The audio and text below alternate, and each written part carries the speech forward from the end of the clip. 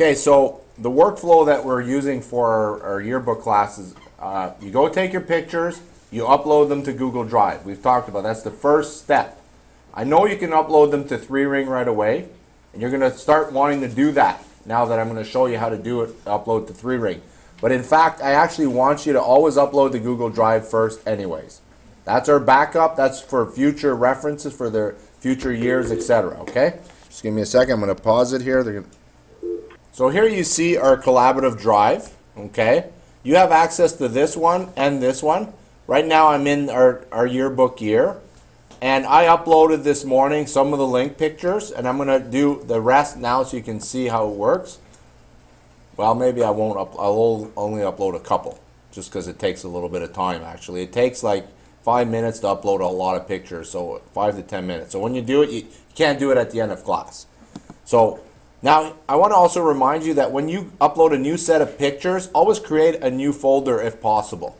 Like example, if you're doing sports team, here's golf. If you're going to do volleyball, create a new folder. And how do you do that again? Click here, folder, or up here, folder. And then you name it. Let's say it's volleyball. Excuse me, volleyball. That way the pictures are somewhat a little bit more organized. And the thing you're going to see is I have to also do that, and whoever becomes the editor will have to do that in uh, Treering, okay? Because there's actually folders there. But I'm going to go to the link and I'm going to download photos. Now we're at the second part of our workflow. So I've already taken my pictures. I uploaded them to Google Drive. The second part is I want to upload them to Treering. Okay, so they're my pictures. And normally if you're in charge of something, for example, if I said you're in charge of the link crew page, well, you're going to be making that link crew page. And usually that also means you got to upload the pictures. The good news is you can actually get several people working on a page. So you can everybody can say I'm going to work on the link crew page. So I'm going to I used I think I used these this morning. Yeah, that's correct. And it's important that if you've uploaded pictures that you do this. I'm going to change the name of the folder, rename, and I'm going to put you know uploaded. Or, you know, I think just uploaded is a good way to, for everybody to know. These have already been uploaded, so we don't have to worry anymore about uploading these, sir. And once something's been written uploaded, guess what? Do we put more pictures in there? No. Of course not. Make another folder. If for whatever reason you made a mistake and you need to upload more, and you got new, create a new folder. All right. So if you need to call it opening day two, great. And the other thing that I'm going to talk to Aaron about and Tara is they're going to be helping me with the editing of pictures.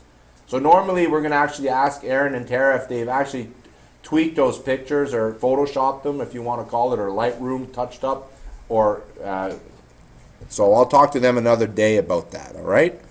So for now, um, I'm going to go over here, and I'm only going to upload one, so I'm not going to put the upload things. It's just for practice, just to show you how it goes. So normally uh, if I want to, I'm going to do more than one picture just so you can see how it works. And so I usually would, you see over here, there's more than one view in Google Drive. This is what I usually ask you guys to look at because you can see the pictures and sort them out. But it's also this view. So if I click over here, this would pick all the pictures. In this case, I'm only going to pick two. And what you're going to notice is once you have more than one pictures and you download them, it'll ask you to zip them. Okay? And that's normal. You have no choice but to go ahead and do that. Okay, email when ready. I'm going to just not Would click Elspeth that. Carpenter please come to the main office? Zipping complete. Carpenter, Close. to the main office. See where the picture goes? It goes down here, guys. So now you have to wait for it to be done, and it's probably done. I'll click open when done. There's a lot of steps here, and this video is going to be posted somewhere on the website for yearbook, so that way you can go and watch it several times so you can learn how to do it. Um, okay, where did it go? If ever it disappears, you can go to downloads through here. All right, so it's slowly opening. My computer is a little slow. So there they are. The thing is, they're still in the zip folder. And how do I know?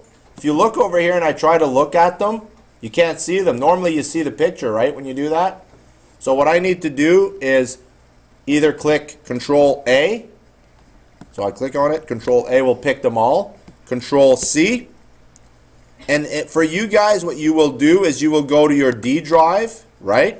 Remember, I told you guys all the school computers have a D drive, and uh, maybe make a new folder here.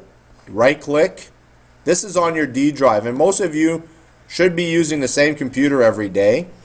Uh, so the new folder, let's say it's your name, so Mr. D. And you don't delete anything on that D drive because my other Comtech students and so on, they have stuff. Now, now it's been unzipped. And by the way, what is zipping? Zipping is something where it shrinks large files so they don't take up as much room on your hard drive. Excuse me. And that's why they're zipped. So you unzip them and then they're in normal form. So if I go look, oh, they're normal form. Perfect. Now I go to Treering. Okay? And all of you will have access to upload pictures.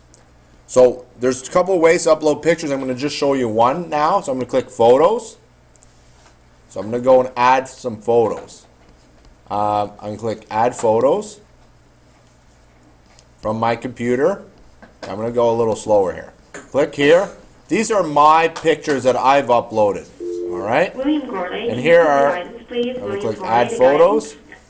I'm going to click my computer. I'm going to go to, I don't even remember, I put them on the D drive, right? Mr. D. Yeah, Mr. D.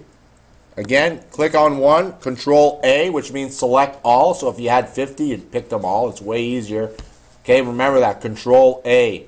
You usually have to pick one, and then once you click one, you click control A, picks them all. Click open. Now here, this is really important.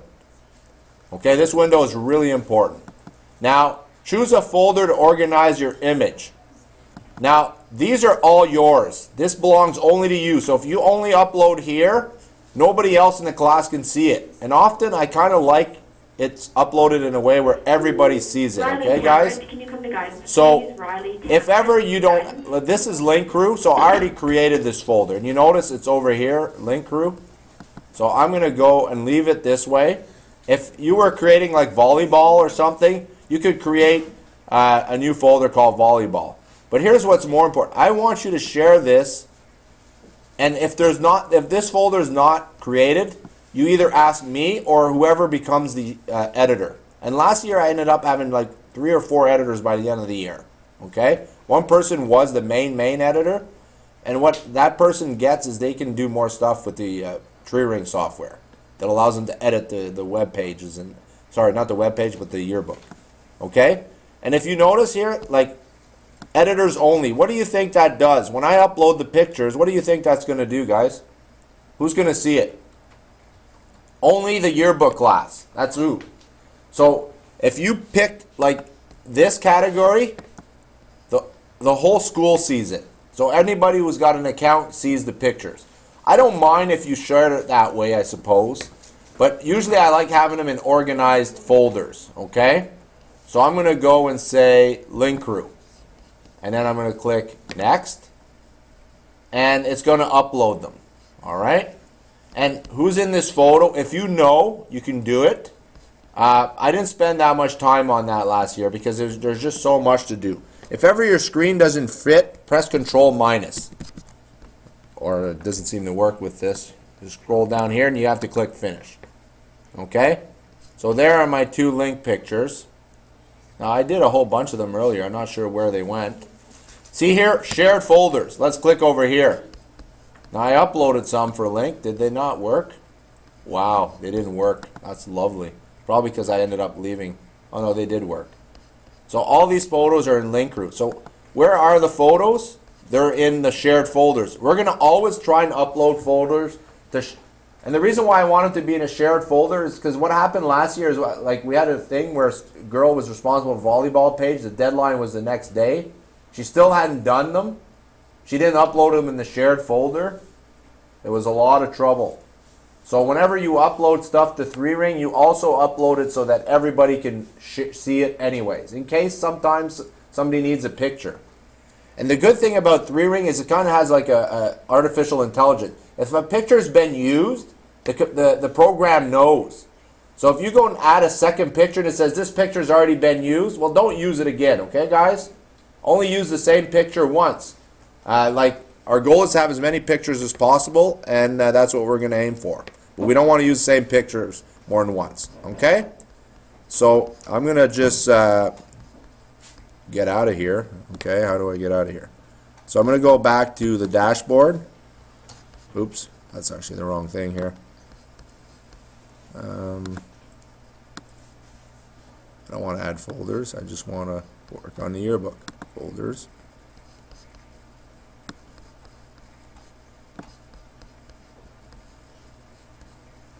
Let me pause this. So to go to the main page, you just click on the logo. And here you see our yearbook for this year. Click on the Edit tab. So, so far we haven't really done anything, okay? Well, what I have done is I have created a page for all of you to play around with today. Now, mind you, this could become a real page later.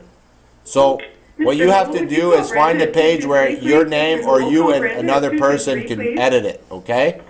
And what I'm going to ask you guys to do today is, uh, well, maybe edit a page, okay? And how do you do that? You go click here, and you're going to pretend it's the uh, link page. And I know somebody's actually going to end up working on this at some point. Yeah, Mr. Uh, Van asked if we could do a page blank and a group photo. Oh yeah, for sure. So there, here's here's all your pho- photos, and if I'm looking for uh, the school folders or my photo, um, so there they are. So I'm gonna I'm gonna I can actually click and just drag this in here, okay? And it's kind of really useful because there's a lot of stuff you can do. I can uh, change the frame you know, make it thicker, whatever. And that's kind of what I want you guys to do today is experiment a little bit. Because we're going to make our own layouts. Uh, you can add, uh, change the shape. Look at all the shapes you can, like we ended up using a lot of these type of shapes last year. And if you look over here, like you can even use this shape. So we can make like really cool effects. Uh, you can even like find a shape that's a number. Like I'll let you play around with this. Like it's going to look dumb if I, I do the number thing here. But like you know, like you can get really creative, which is what I really like. So what I'm going to ask you to do now, I'm going to I'm going to make another video on uh, this later. But and if you're done, I just want you to see here. The other thing that's cool is you can do this. Mr. Stone, would Okay. you contact the main office, please? Um, Mr. Stone, the other thing you can do is this, zoom. Someone here to join you and the. See, uh, you can actually zoom on a picture and move it around like this. That's really useful. Because sometimes the picture, and the only thing that'll show up in the final yearbook is this. You get it, guys? Okay? Mr. Ward, please call the main And office you can rotate, you can oh adjust, you could add some effects like a shadow. Look at what the shadow will do. I'll make a big, you see that shadow going on in the background? Yeah. Doesn't that look cool? Like it looks so much cooler at the end. So here's what we're doing. I'm going to finish this video